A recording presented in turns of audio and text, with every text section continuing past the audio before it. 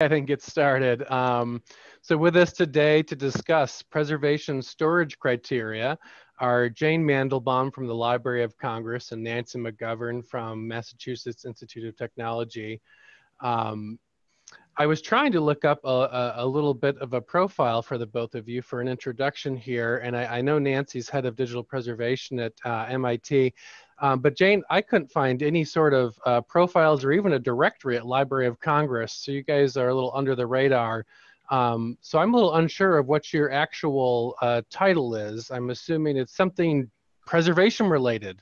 Um, so go let me just say that I'm obviously not representing the library in my work on this group. So um, I'm participating, I've been participating in the group for a long time, which started when we were all working on NDSA things and NDIIPP things in the old, old, old days. Um, so what I do here is mainly, um, uh, I work in the office of the CIO on digital projects. So. Okay. All right. Um, well, uh, just let me know when you would like me to um, advance the slide. Um, sure. And I think we're we're ready to go. Ready to go? Okay. So can you go to the next slide, I guess? So Nancy, you want to talk when we get to the background part, right? Um, yes. Okay.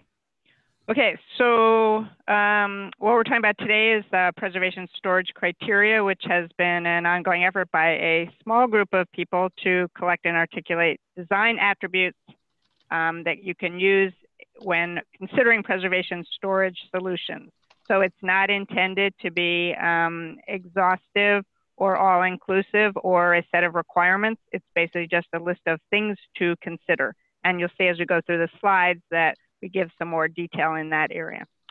So how did this get started? Um, basically everything that we're aware of that people do in digital preservation ultimately relies on digital storage, but we found there were no guidelines available to aid in storage uh, selection that was specific to digital preservation storage. And we know that many people in different institutions are in a situation where they're trying to either help define that as part of a bigger group or they're asked point blank, you know, what do you need for digital preservation storage? So this is an effort to try to help guide people and help people um, themselves understand what the what the kinds of things are that they might want to consider. So uh, Nancy, do you want to start with the background part? Because I think your part begins before 2016. It does. Um, you can see that there's a strong relationship between IPRES and the work that we've been doing. In part, that's because at uh, IPRES 2015 in Chapel Hill, one of the things that I convened was a, a the first that we know of community conversation on digital preservation storage as a particular focus. And from that, we ended up with the 2016 workshop um, IPRES 2016 in Bern.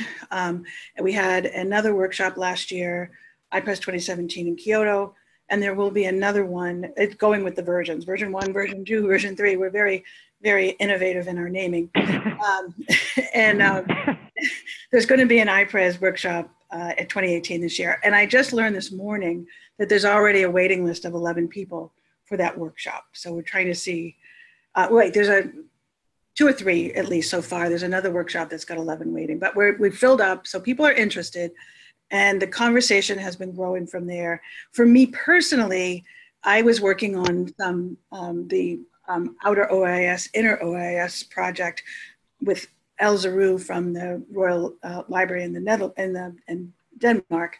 And she has been working on preservation storage for the last long while and we partnered on that to, and, and it gets directly at some of these relationships that come out in the digital preservation storage criteria so a lot of us came together after the 2015 there was a sort of let's do a workshop and there's been interest since we've tried to with each version we've absolutely built in feedback that we've gotten so we were really pleased to hear that NDSA was interested in hearing about it and we're hoping that as with the Library of um, Congress storage meeting, that we get um, feedback along the way and we, we work to incorporate it. Back to you, Jane. Okay, next slide.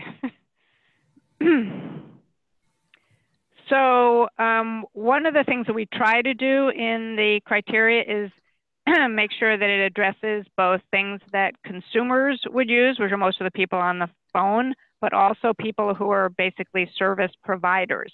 In other words, to help both sides understand what the other might want or be able to provide for them. So, and examples of use, as Nancy said, we try to get feedback from people when they say how they want to use it. And we would actually love to hear from people on the phone as to whether or not they've already used it, whether they have an interest in it, in using it, and exactly how they want to use it, because we believe that it can be used in many different ways. And that's among the things that helps us improve it is getting feedback from people using it. So, an examples of the different ways that we either know or hope people are using it is by evaluating, comparing different preservation storage solutions. For example, in situations where somebody has maybe one local copy and are trying to figure out, you know, if they want to have another local copy under a different kind of administration, they want one local copy of their stuff, and maybe they want another copy as a preservation copy in the cloud. That's part of the use that um, we know people are considering for the criteria um, gap areas and existing implementations. You know, if somebody says to you, well, okay, we have this storage for your digital stuff. Is it good enough for long-term preservation? Um, and then informing more detailed requirements. As we said, it's, it is itself not a exhaustive um, set of requirements, but it may help you inform requirements. Um, and as a component of instructional materials for helping people teach about digital preservation and to have conversations um, with IT and other people who are service providers um, to sort of set a common set of things to talk about and to have discussions like we're having now um, within the digital preservation community. So that was this slide, right? Okay, so as part of that, um, we've been trying to work on guiding principles to talk about you know, basically the scoping and what it is about and what it isn't. Um, we can just kind of go through these. And people have questions. I talk really fast. Um, if people want to stop me or ask questions, feel free to just cut me off anytime. If you can, maybe Nathan, you can help me. Sure. Okay. So um, as we said, part of it is uh, intended to apply to diff all different kinds of institutions um, organizations that are not necessarily part of, you know, the traditional digital preservation community, but, you know, all kinds of different institutions all over the world doing all kinds of work. And maybe they don't even know they're doing, you know, preservation. Um, but I think we think over time that people will understand that there's a commonality to it. So it's, it's intended to speak to the commonalities of organizations doing things with uh, digital content. Um, it's specifically, and we try really hard on this part, we try to avoid any reference to any particular type of architecture, technology, media, content policy, or vendor choices. So some of the ways some things are phrased are intended to be as broad as possible and not specific. And that's an example of why it's not necessarily a set of requirements that you can just use exactly as it comes out of the box, as it were, because we know that many other people have local situations that um, may require them or they have more specific um, requirements in the areas here. And the other part, of course, is the flip side of that is not all the criteria are intended to be applicable to all kinds, to every single institution. And, okay, sec next slide. Um, and the one on the top, I think, is the one that's sometimes the hardest to keep in mind. It's not intended at all to be used as a requirements document uh, alone. It's intended, the criteria is intended to be just sort of a list of things to think about, considerations, things that will help you maybe build a requirements document. Um, and it is intended to be a foundation that you can use um, and can be combined with uh, things that are that are local to you, things that matter to you, and different kinds of things. And as Nancy said, um, and try to describe, we the group is composed of people from different parts of the world with different um, jobs and different backgrounds, and that I think helps us put it together because we we know that everybody has different things that they think are important or they're important and inform their own institution, and that's why we're also interested in use cases. Um, and it in, also intentionally doesn't address any other kinds of infrastructure. We know that preservation storage realistically is part of people's IT infrastructure or their content management infrastructure or their whatever, um, whether it's in a cloud or whether it's local or you know and that it does not, intentionally does not try to address the relationship between the preservation storage and any other parts of your infrastructure. so those are the guiding principles, and um, that's when you look at the criteria, it's important to try to keep those in mind, which we have to remind ourselves of occasionally also. So following up on one of those principles, um, we know that users need to take other kinds of things into consideration. Um, institutional requirements, practices, and policies that are relevant, regulations, laws, and everybody has, everybody works within an institution that has different issues related to confidentiality and privacy, what, what kind of access you're offering, um, risk management, and uh, cost issues and what your financial framework and funding structure is like and your business continuity requirements. And often business, business continuity requirements often will sort of impact and or sort of interact with preservation storage because obviously part of the goal of preservation storage is to um, support business continuity for your organization. So often those are the hard parts and the criteria doesn't, does not really um, uh, obviously doesn't deal with sort of local things, although we, um, if you go to the next slide.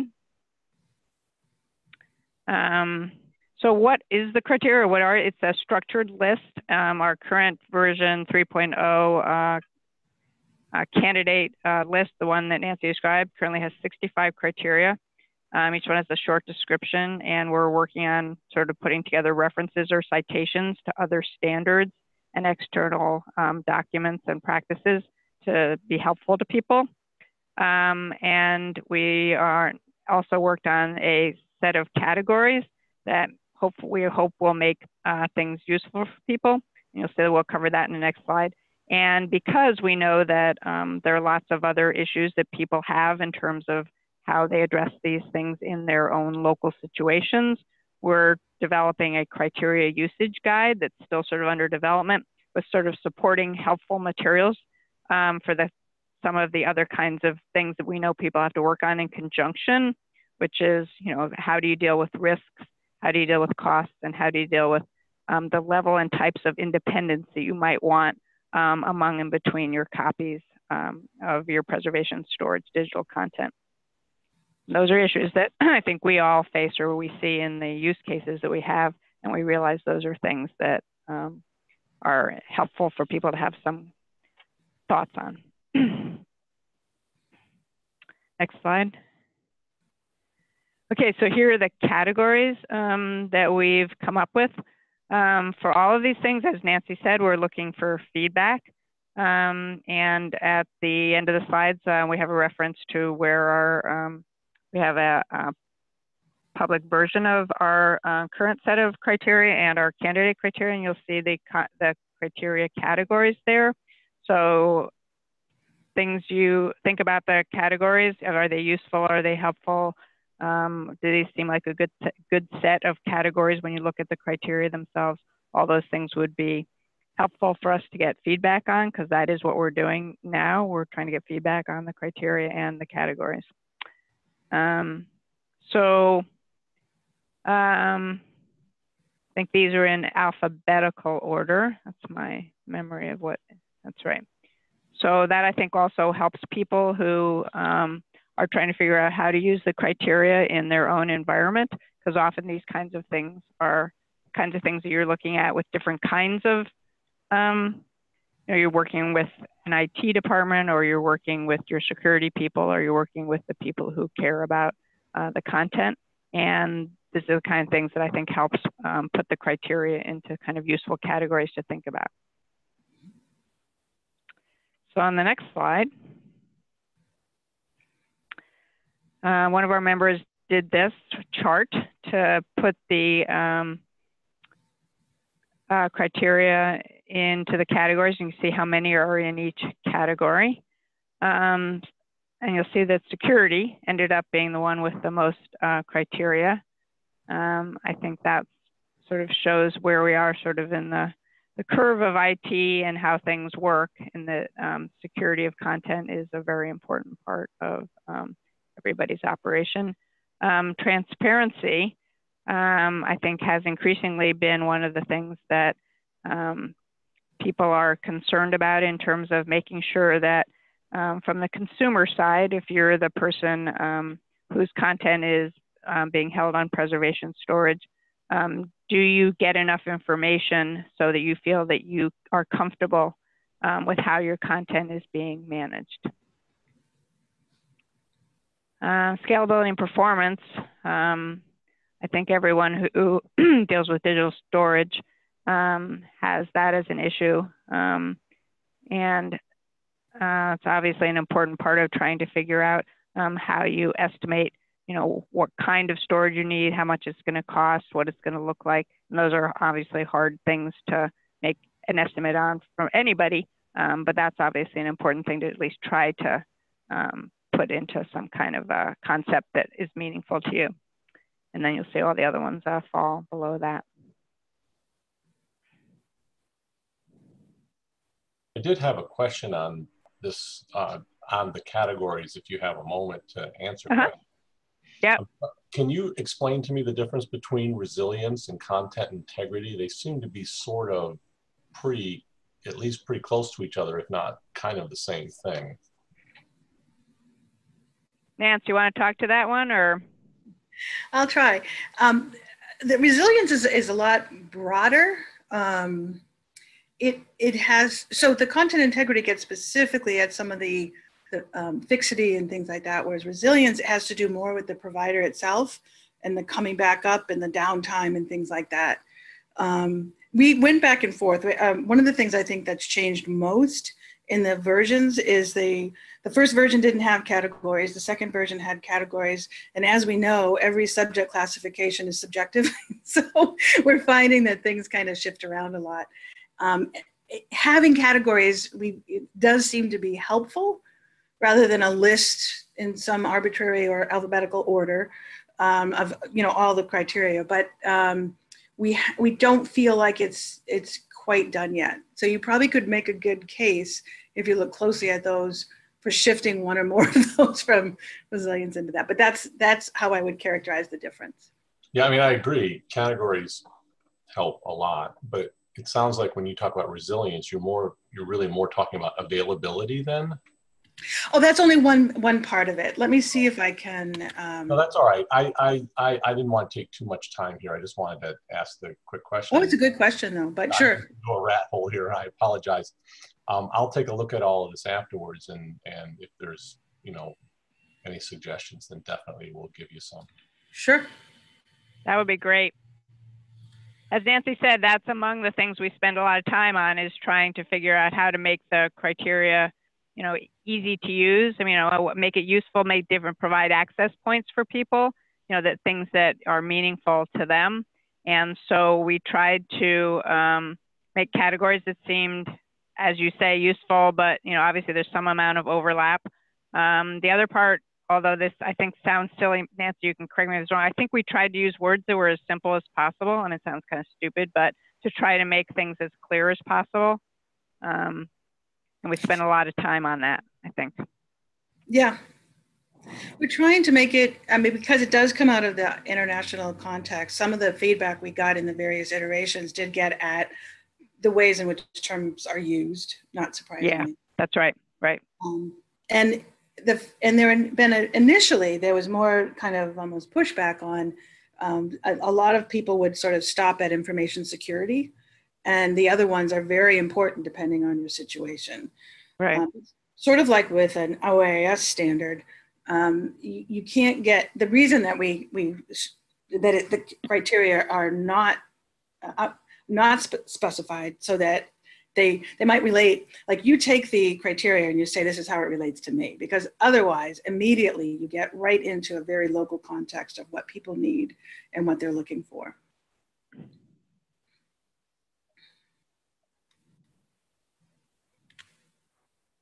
The other thing I think that you realize, you know, over time is, as Nancy said, sometimes, you know, in one part of your cycle of, you know, working through your issues, really, you know, you might find that, you know, one of these categories is more important, and over time, uh, you know, some wane, some wax, you know, depending on where you are in your cycles, and um, you know what your what your local problems are. And I think that was the other part we tried to do was to make it flexible enough so that you could um, focus on specific things that you know matter to you in one in in your in where you are in your cycle of dealing with content and in what your role is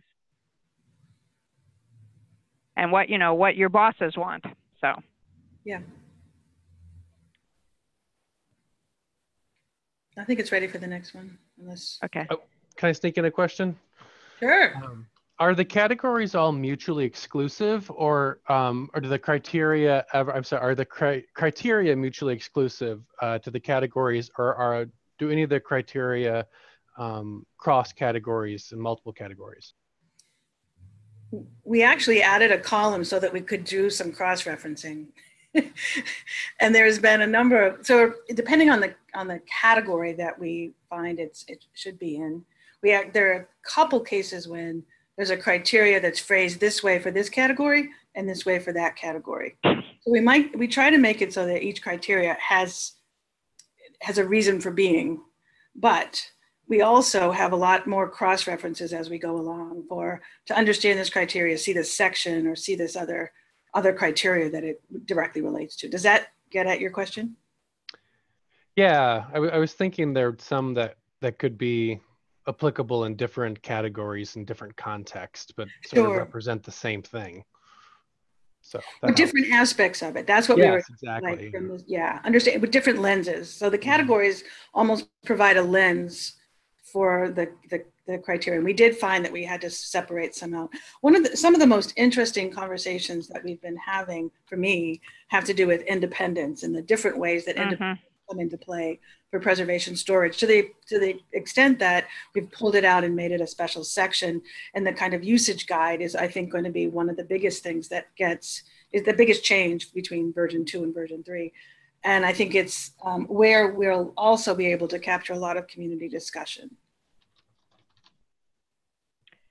Right. So when we talk about independence, uh, Nancy, you can stop me. I mean, the the conversations arose around the issues of um, the sort of deep question, which I know comes up explicitly some places, but implicitly basically everywhere, which is if you have more than one copy of your digital content, how do you make sure that um, the two copies are different enough or independent enough from each other that you are addressing whatever risks might come up in either technical or security or in fact all of these other categories. And yeah. that's i think one of the things that um, is one of the challenges of both trying to think about the criteria and your preservation storage um, solutions. And it's also one of the things that's the hardest to um, actually implement so that concept of independence is a really important part of what we were trying to address. And, and it's, it's a use case that some people articulate, but that I think is actually um, applicable to basically anybody who has more than one copy of, you know, what their preservation storage is. Yeah. And it comes up obviously a lot in the question that's the often the most common, which is, you know, I have a copy of my stuff on our local you know, server, data center, whatever it is, and I'm thinking about putting another copy somewhere. What does that mean? And the independence part of that is a really important part of that. Right.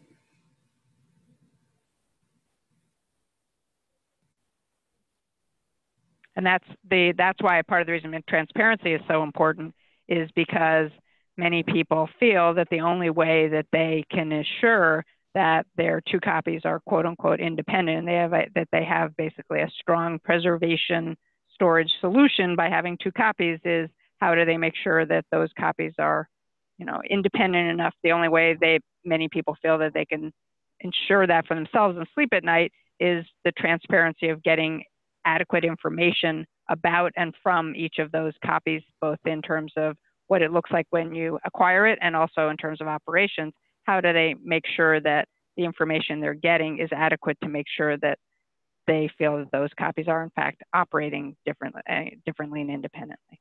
Yeah.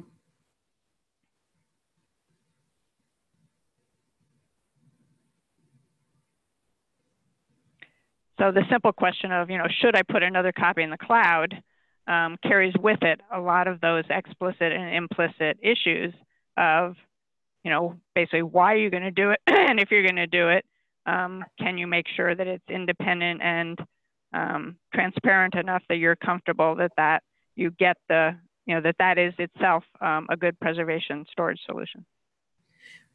kind of related to that one, one of the other really interesting threads, it ties to cloud.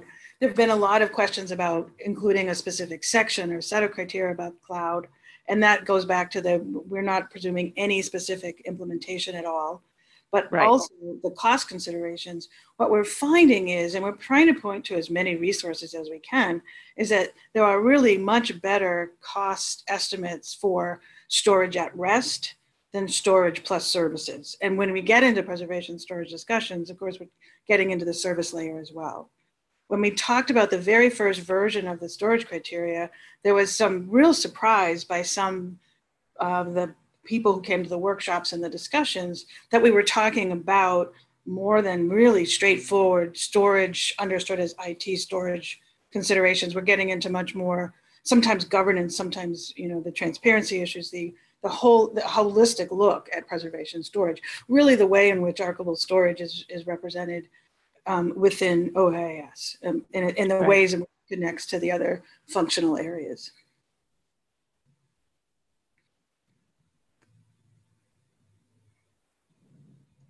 Nance, can you um I'm just for the for the notes, I'm trying to capture sort of what you were just getting at a little bit um and, and about the cost projections for for storage at rest rather than storage with services. Mm-hmm. Um and just sort of mentioning here about thinking thinking about it that way or how would you sort of encapsulate that thought? Um think about your your cost projections for storage at rest rather than storage services? Oh no! Think about um, understand when you get an estimate that you might be only getting storage at rest, which is the most knowable um, content. It's just your your your file sitting there. But if you're running Fixity, that's storage with services. If you're running, if you're interacting with the content, and that's where the, the, the frequency of, of how often you run, um, you do fixity checking, the frequency with other kinds of services that you might associate with preservation storage are the sort of unknowns. Um, what kind of, like we're, we're doing, uh, for MIT, we're doing levels of preservation commitment. And for our most um, significant, you know, that's a loaded word, but for our, you know, institute records and confidential data and things, um, we're doing, it's a lot less content than it is for than other categories, but it's the highest frequency of services. So it's a higher cost, but on a lower amount of content. So thinking about when you a lot of just be aware that when you get an estimate, understand what it's telling you. Like it very specific things about how often the service would be run if there are any services. Um, do you have to take content out to run services and put them back? Uh, we're at a point of transition, absolute transformation in preservation storage providers from a very much a monolithic situation to a very distributed one. And the distributed digital preservation part of this is what Eld Zierau and I were tackling in the OI-OI model stuff. It's there's lots of different moving parts. There's lots of providers that are getting into it. And one of the aspects of independence is not relying on only local, of course, but also not necessarily on um, only one provider. Um, what the, the entire understanding of independence and how we achieve it, especially for born digital content, for example, where you might be going for more number, we would certainly be going for higher numbers of copies. Thank and you. I'm not sure that that answered your question. no, no, it did. It did very much. Thank you. So right, I mean, what you what I mean, I think most many people find themselves in a situation where somebody you know raises their hand and says, "But hey, you know, I can buy five terabytes for this amount, and I can operate it for this amount. You know, what what's the pro? You know, why do you think it's such a big deal to have preservation storage? And you try and, as Nan says, you have to understand that just you know being able to buy five terabytes, you know, on you know, eBay or whatever it is, that's not that's not what you're trying to do for preservation storage. Yeah, we the, the conversation last year at the Library of Congress storage meeting was really fascinating. But there were whole by design. There's a hundred different kinds of participants in that conversation, and a number of the um, people who may providers who may have viewed themselves as storage providers and are now trying to understand what a digital preservation storage provider might mean were really stunned that there would be any reason to tell anybody that there were errors right. and that they wouldn't just be uh, expected to fix them, whatever that means. You know, the notion for me that somebody would decide what to do if they found an error in my preservation copies is really um, troubling. Without the communication, so that's where we get into the service um, support, and that's where we get into transparency. Right, and those same providers, right, they understand that it's going to cost them money and resources, and it's a lot of work to do some of the things that the preservation storage might require. And so that's why it's important for the you know community to have those requirements and articulate them and make it clear that that is what you know what people need, as Nancy said. Um, and that's part of, I think, also the goal of this. Yeah. Yeah. I guess um, this is, I'll mention it now, and then I think we only have a few slides left. But so the, I mentioned the MIT project that we're working on. It's called Comprehensive Digital Preservation Storage. And we have gotten, I'm thrilled that we have high level approval to go forward with implementing it. We have levels of preservation commitment that I would be happy to share our example for that. It's not something that everybody would be out, but the more content you have, the more the more important it is to think about what level of service you need and, and want to try to achieve. So we're going with our institute records, our regulated and confidential, and our open institute records as our top um, categories. And we've identified providers to work with on that. And one of the providers, one of the things that we're going to be working out with them is that they're going to do, they're going to partner with us on an experiment to try to figure out a better model for figuring out storage with plus services.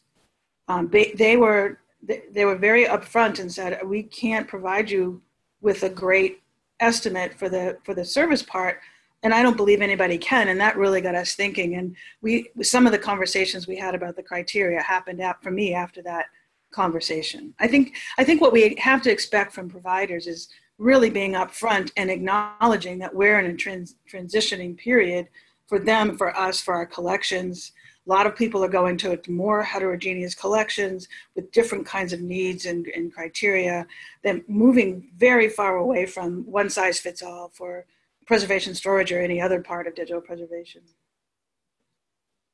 Right, and I think uh, as Nat says, you start expanding your collections and looking at them, there's the issue of, you know, the quote unquote, you know, you can value or consider some of them more significant. Also, the types of content that you have also can make a difference as to, you know, what the provider can do for you. You know, it's a lot harder, for example, ever knows, do fixity on a huge file than it is on a small file.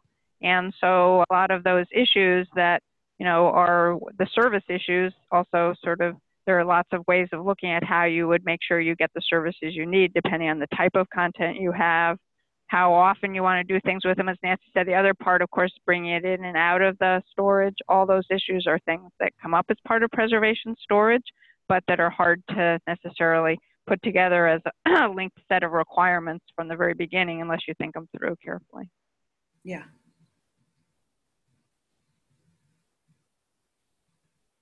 And that's also why the criteria are intended to speak to both the consumers and providers so that it's sort of mutually um, mutually available for discussions.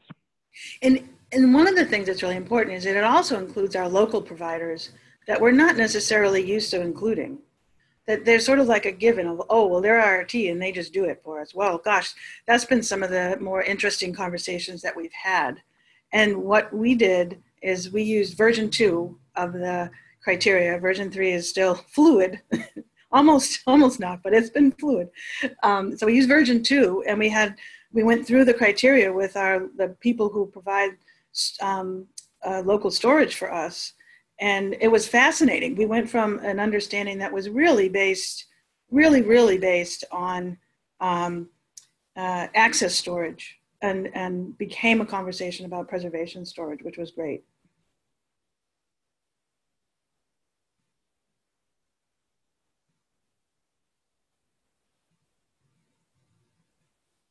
Carry on with the slides? Yep. So um, this is a list that uh, some of the other people in our group put together of uh, examples of uh, some of the criteria that they thought were good for having conversations around. Um, and obviously won't read them. The C just means I think it's that's the criteria. And these those are um, two out of the uh, 65 that go along with some of the different things that we were talking about, the organizational independence, um, allowing audits, that also deals with the transparency part. Um, a lot of these issues have to do with, in fact, the uh, transparency and independence part. You know, saying where the number 58, exposing the location of where your storage is, which is very important uh, to certain institutions and depending on what their laws are about where your stuff can be or where you want it to be. Mm-hmm. Um, how much you get notified and what kinds of data errors you get notified of, something Nancy referred to before, and what you know what they tell you about what those errors are. Um, some people find you know the issue of exporting your content from one uh, solution to another, how that works,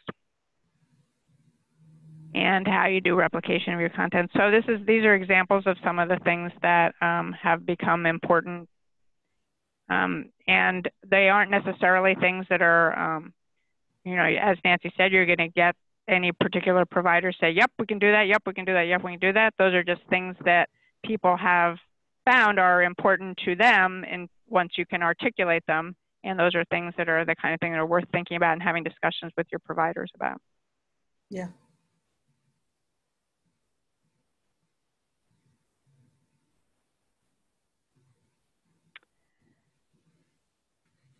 So next steps, um, as Nancy said, we're working on version three. We have a um, version, I think is in the next slide, um, out for public content, public meaning, people on the NDSA calls and other people that we are going to work with at, I think iPres and I think also at um, the DigiPres meeting, I think, November, I think. I think so. Yeah. Um, and we're trying to get as many comments as we can um, from um, people. Um, feedback from anybody on this call would be great. Um, and uh, one of the things, as Nancy said, we're trying to improve is um, find as many good people who have use cases as possible, because that obviously helps us and helps us um, understand how people are using them, and I think helps other people who are trying to use them. It's good to have people um, explain how they're using them so that can help other people try to use them also. Yeah. One of the things I'm, I know many of you, many of us are involved in the NDSA levels of preservation revision. And um, this is the kind of document that we'd expect that to link to um, because it does address storage. We don't want to replicate in the levels of preservation the specificity of these kinds of documents, but we that's how we see it plugging into things. And right. Jane, you're you're the there will be the the um, storage conference again this year, and there yep. will be um, notes and things that come out from that mm-hmm. afterward. Mm-hmm. Yep. We think that the version that we go into the iPres workshop with will be 3.0. And as usual, and how we've kind of been carrying on is we'll probably start working on version four right after right after that. Oh, probably during the workshop. that will save time. Right. okay. I think the next slide shows the, uh, yeah, okay. So um, as with other parts of the NDSA, we had also started looking at Open Science Framework as a um, place to um, put a, a, version of our stuff. So that's what's listed there. We also have a Google group um, that we encourage people to join, um, that we send out communications to and get people, try to use that as people to talk about. Um, and then the conferences and uh, forums, which is going to be presented, the iPres 2018. Nancy is one of the leaders of. Uh, I'm not sure where PASIG is this year. Mexico sure. City. Yeah, there you go. Exactly. That's why I didn't know where it was. Right. And then, of course, through these NDSA working groups. So. Yeah. So one of the things about iPres 2018 is that for the first time, we're doing full, open, comprehensive proceedings and so the workshop materials will be posted up through iPres 2018, so all the slides and things. So if you're not, we hope to see everybody in Boston and Cambridge, but if you're not able to attend, we're going to try to put just as much, not only for workshops, but for the whole of the whole of the program up in um, and OSF, and we're going to be trying to have a full set of Google um, Doc notes for each of the sessions. So the workshop is on, uh, that's Monday, the September 24th, right? Yes, it is a, a date that is ingrained in my head. they are. Uh. it's, we, it's really. I was very pleased that we just opened um, specific workshop sign up on Friday, and that and we already have a wait list for that. That's great.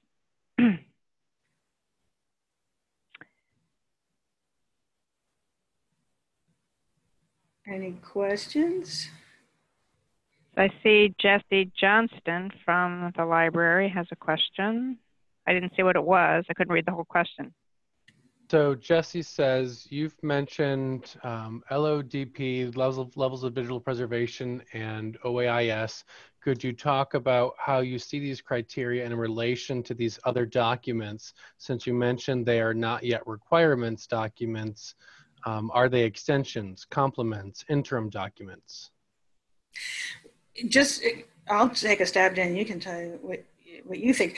Um, we see this as, as filling a specific niche that hadn't been addressed. The things very specific about how do you stand up and manage preservation storage. We, we're not trying to ever make these a requirements document. I just want to make sure we're clear about that. Right, right. The local, the, the local local application of them produces a request for information or a request for proposal or you know gets into very specific but we're like the OAIS approach of it's generalized so that everybody can use it the criteria format we're going we would keep to um, as far as it being generalized and applicable for everyone. Now some people have told us that, that that they don't need as much of the transparency stuff for whatever reason. For us for our institute records we have to have a you know the location part has to be you know transparent location has to be there or we can't use certain kinds of um, storage. So it's very much you pick and choose the parts that are appropriate to you and then you turn those things into requirements. That's the process that we went through at mit we we looked at the at the criteria and said all right for this and and there's a difference between the criteria i mean the requirement that we might come up with for our local copy which is our preservation storage master, and, and other kinds of backups that would be managed by other kinds of providers. So we don't intend for it to be a, a, a, requirements document. It's not like that's the next step for it. We would like to point to people's requirements documents so that people can see and other kinds of uses. That's where the use cases come in for that. But so, for instance, in the in the in revising the levels of preservation, we definitely would see this as if you're working on this you know these rows and these columns look at this would be a document to refer to so it's meant to supplement um, the the existing set of standards and practice that we have.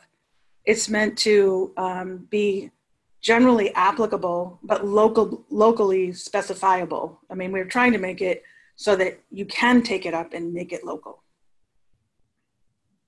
I don't think that we're we're, we're not at this point looking at taking it to become an it's more like a community um, standard in the way of PREMIS which isn't yet an iso standard for sure but it is um, it's meant to be for the community by the community um, and i don't know what more formal format it will take as a standard um, beyond what we're doing.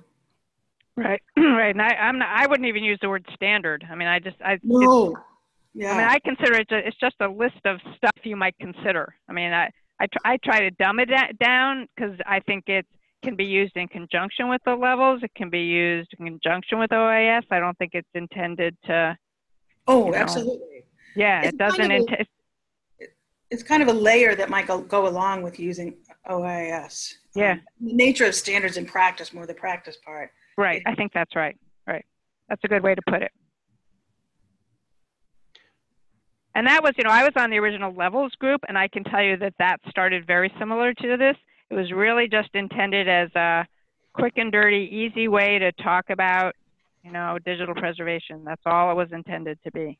Yeah, and in this case, we're trying to make sure that people understand that there's more to it than a number of providers or even curators would be aware of if they don't really sit and think through. it. So we're trying to help people think through the problem Right. And make sure that And as, right, and they're and they're hard problems. I mean, these aren't easy things to deal with, and these are problems in practice. rather than, you know, a list of specific standards or whatever. Yep. It's intended to be hard discussion items. You look at the example criteria that's on that was on a couple slides back. Those are not easy problems to deal with. So I think these are really intended as discussion points, as Nancy said, that help institutions and providers talk about the hard concepts of dealing with pre digital preservation and the storage that underlies it. Yep.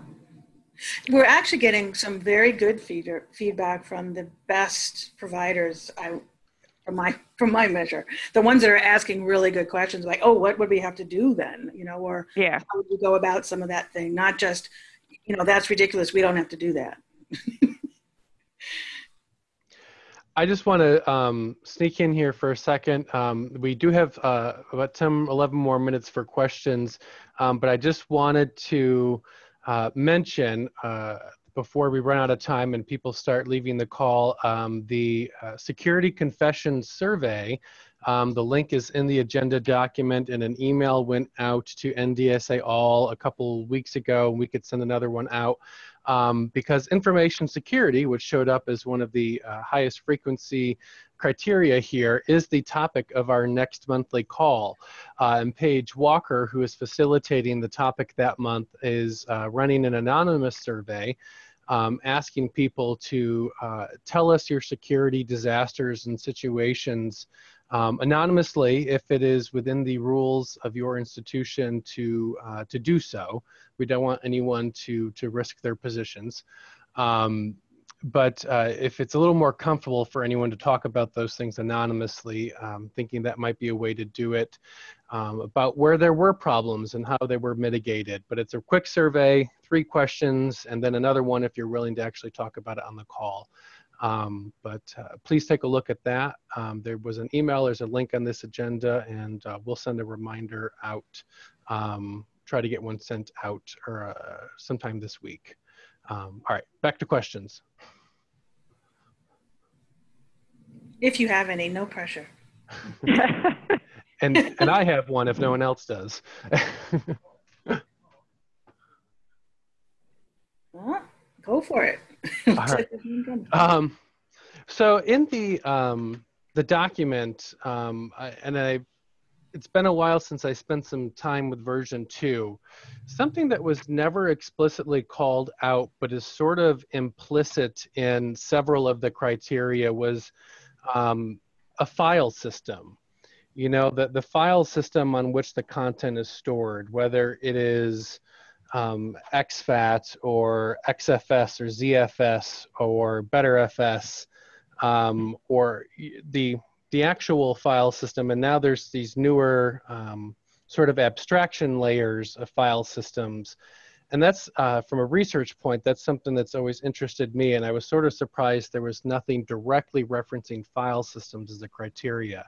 And I was just curious if you could talk about that a bit. I'll start, Jane. You you jump in. Um, we do call it out in version three in a in a general way. Um, one criteria where it comes up is interoperability and flexibility.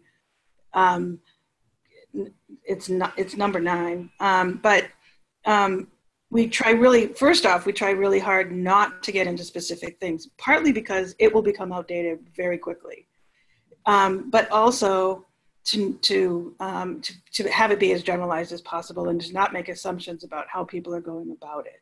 So in that case, we actually list out some of the things that you talked about as examples so that people can understand, but not as um, a, specific discussion of it. That's where you get into the local implementation and how people go about things.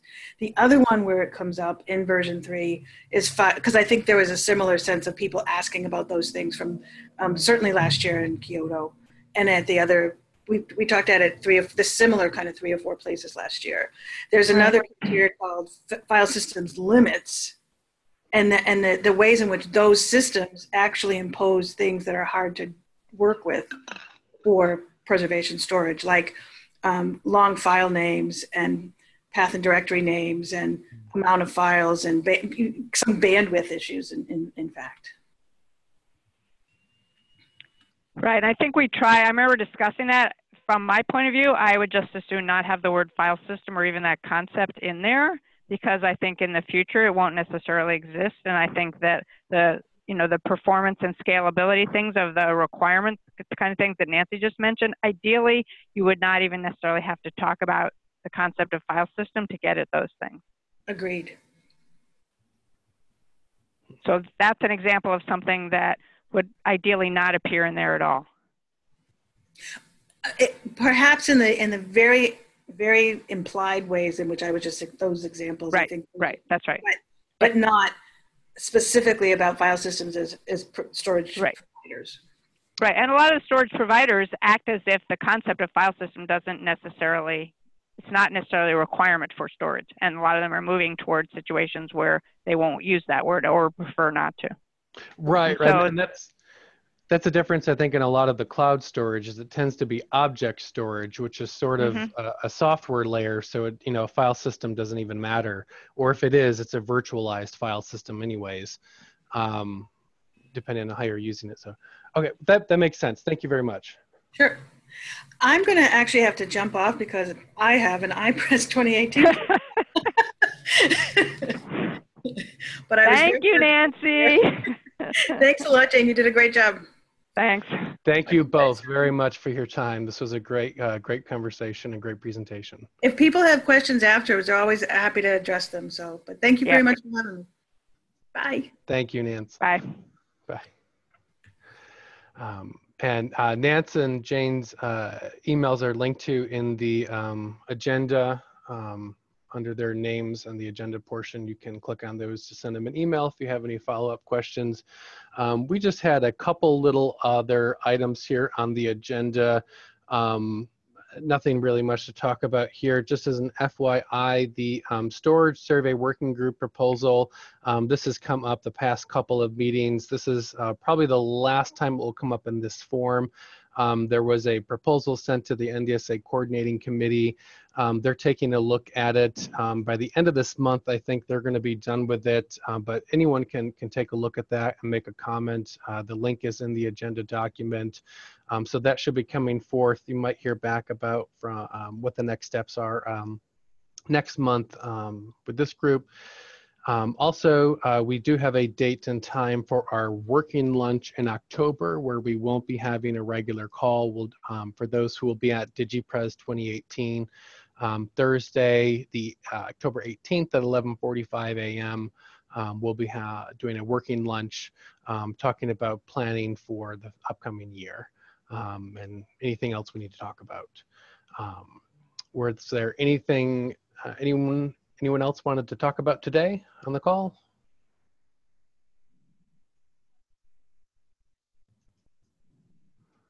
Okay, thank you everyone. Thank you uh, again to Jane um, and our best to Nance again. Uh, and have a great day, everyone. Thank you. Right. Thanks for the opportunity to talk about it. So, thank you for your work. Bye. Bye bye.